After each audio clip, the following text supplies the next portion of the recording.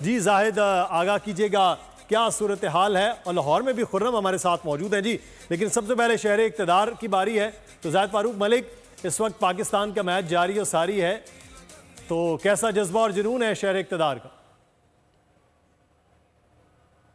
जी, बिल्कुल। एक ऐसी दुनिया की फास्ट बैटरी जिसमें शाह अफरीदी, हारिस राउफ, नसीम शामिल हो रोहित शर्मा की जानब से टॉस जीतकर उनका सामना करना एक ऐसी विकेट के ऊपर जहाँ पर बॉल सीम भी कर रही हो स्विंग भी कर रही हो, और फिर के ऊपर चार विकेट्स एक अच्छा फैसला नहीं कहा जा रहा था, लेकिन एक अब जब से स्पिनर्स आए हैं जो इंडियन बैट्समैन हैं, वो थोड़े से जमे ज़रूर हैं। इस वक्त मौजूद हैं नेशनल प्रेस क्लब में, जहाँ पर लाइव स्ट्रीमिंग हो रही है। हमारे साथ यहाँ पे पोला पाकिस्तानी भी हैं पाकिस्तानी लिबास भी पहना हुआ है परचम भी है। और साथ शाकिन के पूरी तादाद मौजूद है। बात करते हैं क्या कहेंगे पाकिस्तान का मैच है? आज माशाल्लाह बड़ा अच्छा मैच है और टॉस जिसा उन्होंने जीता इंडिया ने लेकिन वो बड़े खुश हुए लेकिन बड़ी अर्ली विकेट पाकिस्तान ले ली जिसे हमें तो थी और उससे अच्छी पाकिस्तान की बॉलिंग हुई। उस टाइम बड़ा अच्छा मैच आ रहा है इंशाल्लाह पाकिस्तान ये मैच जीतेगा। क्या कहेंगे?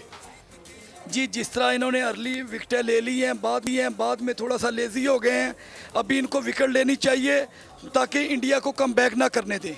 तो इन ताला जिस तरह पाकिस्तान ने बॉलिंग की है, इसी तरह बैटिंग अच्छी करेंगे और बाबर आज़म जिस तरह आपको पता है, हमारी पाकिस्तानी अवाम की आँखों का तारा नंबर वन बैट्समैन है तो बाबर आज़म भी आज रनजे करेगा और पाकिस्तान जीतेगा और इंडिया को हम धूल छिटा देंगे। हाँ जी, बिल्कुल, पाकिस्तान नंबर वन है, बाबर आज़म भी नंबर वन है, जिनका उन्होंने आज हैट भी पहना हुआ है, उनकी शर्ट भी पहनी हुई है, पुर उम्मीद है शायकीन क्रिकेट के पाकिस्तान आज इंडिया के खिलाफ कामयाबी हासिल करेगा और इस वक्त आधा से ज़्यादा जो इनिंग्स है वो इंडियन मुकम्मल इंशा अफरीदी जो है सात ओवर करवा चुके हैं और जो बैटिंग है वो इस वक्त जारी है। इंडिया के जाहिद आप हमें आगाह कर रहे हैं इस्लामाबाद में नेशनल प्रेस क्लब में। बड़ा जोश खरोश है लोग मौजूद हैं आप साथ रहिएगा। सना आ रहे सब्सक्राइब करें और बेल दबाएँ ताकि कोई खबर रह न जाए।